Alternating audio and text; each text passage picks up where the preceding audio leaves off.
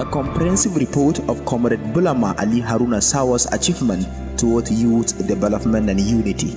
In his effort to achieve positive development and unity, Comrade Bulama Ali Haruna Sawa rendered help to various youth to further their education in Gwoza. He supported youth in his capacity to continue their higher education across the tertiary institution in Nigeria. On September 2021, Comrade Sawa, as the coordinator of All Progressive Congress National Youth Council APC NYC Gwoza chapter, rendered help to various youth in his capacity. He offered free registration of 200 joint admission and matriculation both JAMB to go are trying to pursue their tertiary education across the country. This great achievement was his effort in collaboration with stakeholders in the state. The initiative was designed to offer educational assistance to less privileged and aim at increasing access to higher education in Gwoza, more especially for the youth affected by insurgency.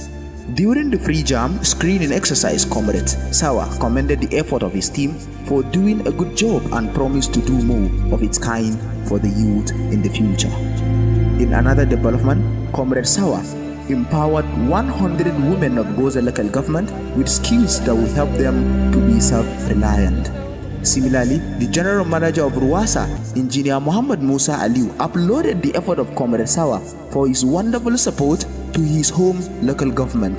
The skill accusation of 100 women was launched in Day Secondary School, Maiduguri. He also organized another digital job training for 100 youth on October 2022. The program was designed in collaboration with GM Ruwasa to equip young people with essential digital skills that will enhance their employability and economic growth of the region. Comrade Sawa also visited Vice Chancellor of the University of Maiduguri, Professor Aliyu Shugaba, to facilitate admission opportunities for Gwoza students. The visit was aimed at increasing the number of admission to Gwoza students, and the Vice Chancellor seconded and promised to support and give more room to students for educational development. After several years of being silent, Comrade Sawa revived the Association of National Union of Gwoza Students to become active. He encouraged the association financially to make things work without any impediment.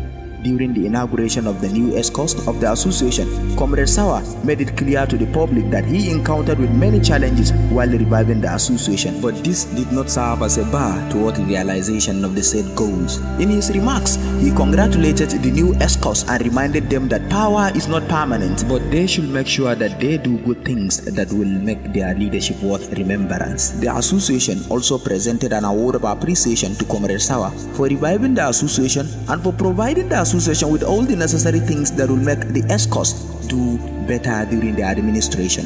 After a week of the inauguration, Comrade Sawa organized a dialogue conference at Dujima International Hotels for youth development and unity. Opportunities were given to three persons from each ward of Gwoza local government to share their ideas and things that need attention to rectify it collectively. The dialogue conference was organized under the flag of APC and NYC. Unfortunately, after the conference, Comrade Sawa resigned from his office and recommended Ibrahim Idris Bruho for good governance.